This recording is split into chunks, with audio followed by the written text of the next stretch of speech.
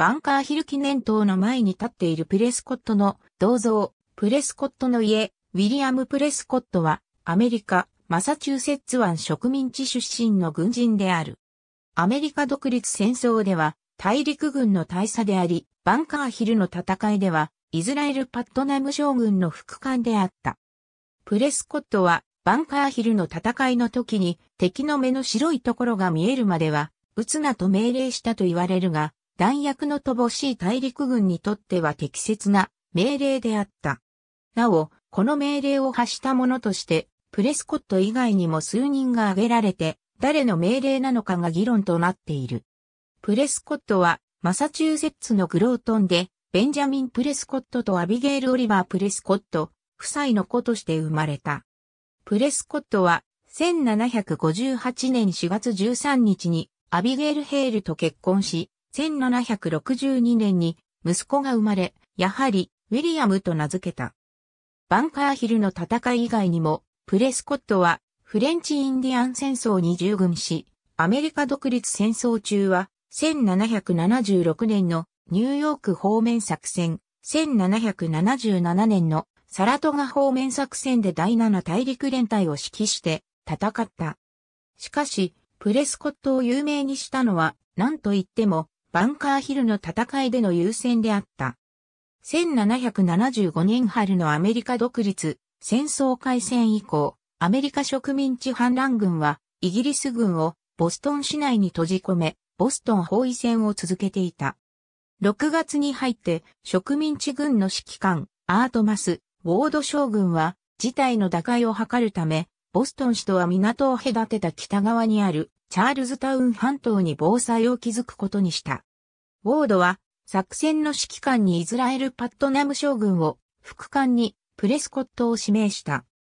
ボストン市を包囲しているとは言っても、港はイギリス海軍に支配されており、植民地軍が動けば、すぐに悟られる可能性が強く危険な任務であった。6月16日夜、プレスコットが1500名の兵士を率いて半島に上陸した。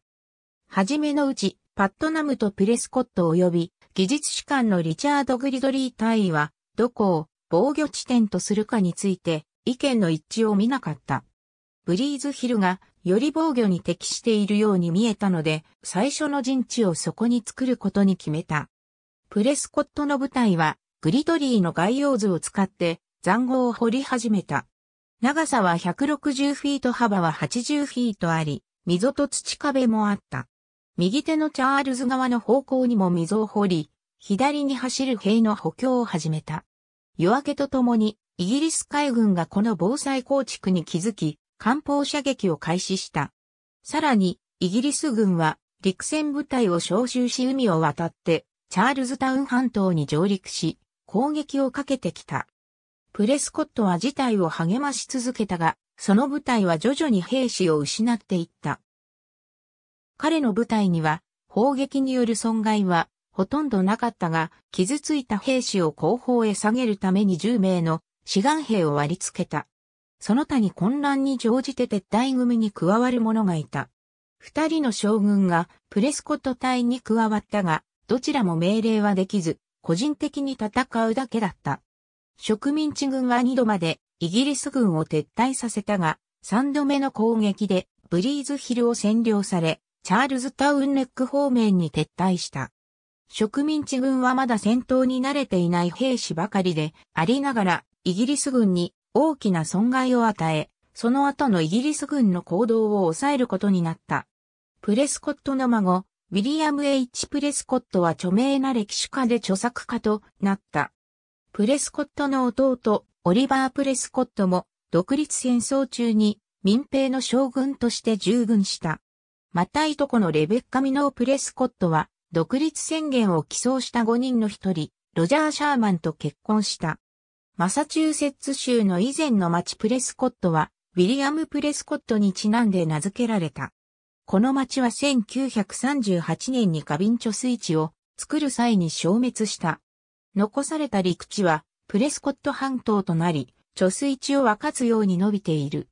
プレスコットの肖像は、バンカーヒル記念塔の前に立っている銅像で狙える。プレスコットの家は今もマサチューセッツ州イーストペパレルにある。ありがとうございます。